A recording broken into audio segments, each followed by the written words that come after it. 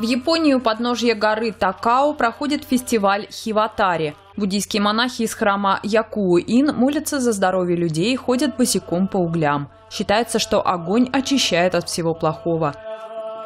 С древних времен на горе Таусан молились об избавлении от эпидемий. Цель обряда всегда была такой.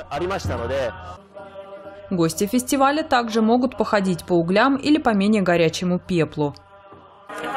Я хочу, чтобы пандемия коронавируса скорее закончилась.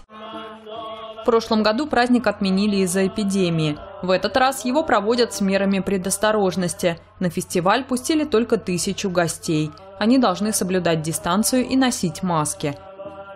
Гора Такао – популярнейшая достопримечательность Японии. Обычно здесь много туристов.